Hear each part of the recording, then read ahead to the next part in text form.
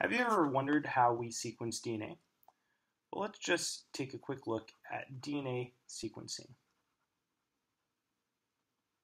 So we're going to break down DNA sequencing into three different steps. So the first step is you take the sample of DNA that you're interested in sequencing, and you basically use PCR to amplify the sample. So by using PCR in order to amplify the sample, you're able to generate lots and lots of DNA fragments. So the next thing that you do is normally in PCR you have to add nucleotides. You have to give the growing strand the substrate from which it, it can grow.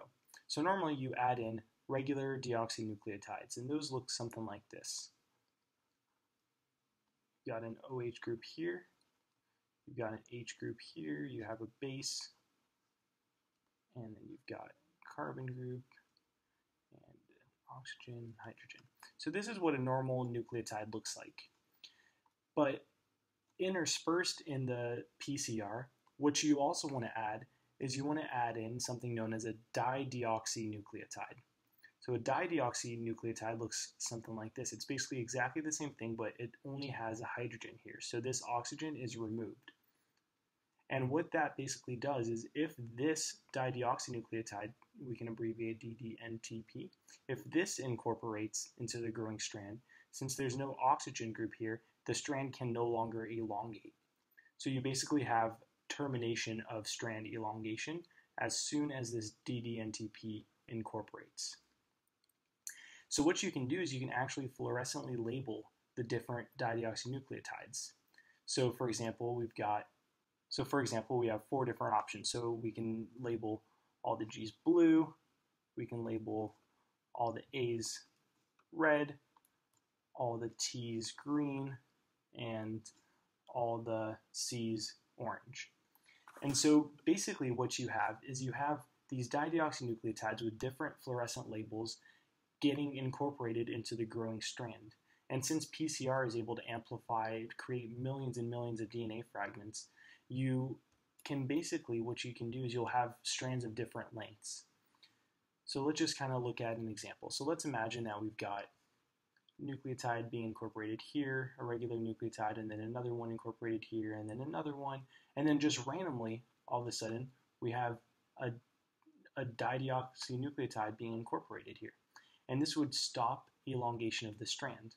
So you'd have a DNA strand, which is that's just four nucleotides long. And after another round of PCR, what we might have is we might have one, two, three, four, five, six. It's just growing, it's growing, it's growing, and then all of a sudden, whoa, what happened? You got a dideoxynucleotide being incorporated.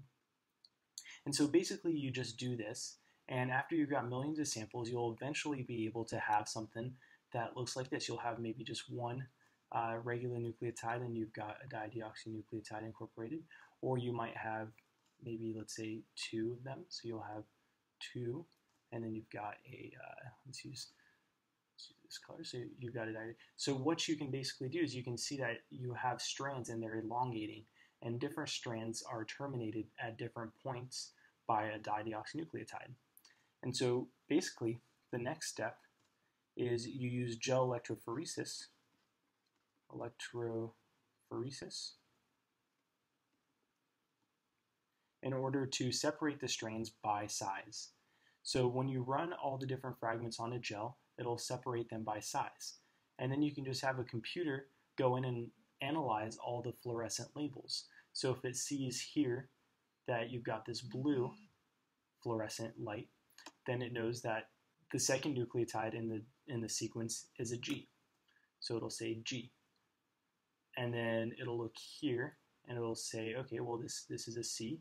It'll look here, it'll say we have another G, and so on and so forth. And basically, the computer is able to, by reading these fluorescent labels, these fluorescent tags, it's able to give you a DNA sequence. And so this is basically the, an overview of how DNA sequencing works.